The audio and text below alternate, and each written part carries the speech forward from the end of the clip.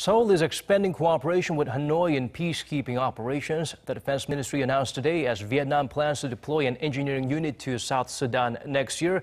The country asked the South Korean government to share their know-how gained through the successful deployment of the Hanbit unit to South Sudan. The troops assumed their duties in that nation in 2013 at the request of the UN.